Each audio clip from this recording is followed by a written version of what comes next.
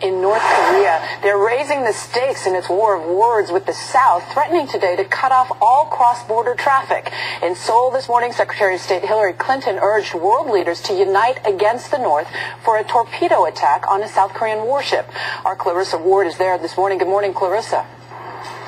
Juju, Secretary Clinton repeatedly affirmed the U.S.'s strong support for South Korea and warned the North to halt its provocative actions. She also said that the world and China must come together and give a strong but measured response, but she did not give a timeline as to when that response may come.